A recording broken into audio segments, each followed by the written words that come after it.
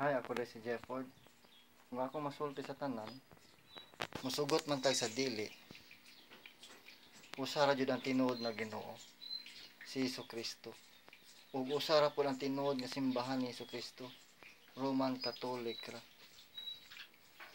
So, miskan pag wala ta nagtrabaho sa simbahan, miskan pag mangisdaay lang ta, manglitahay lang ta buwis, pwede ra pod gyapon ta makaserbisyo kang Hesus Kristo.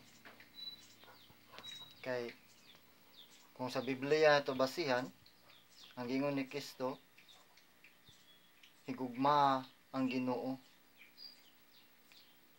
Tibok nimong kasing-kasing, huna-huna o kalag o kusog o higugma ang imong isig kaingon sama sa imong kaugalingon. O kini si Jefford and Jefford is out.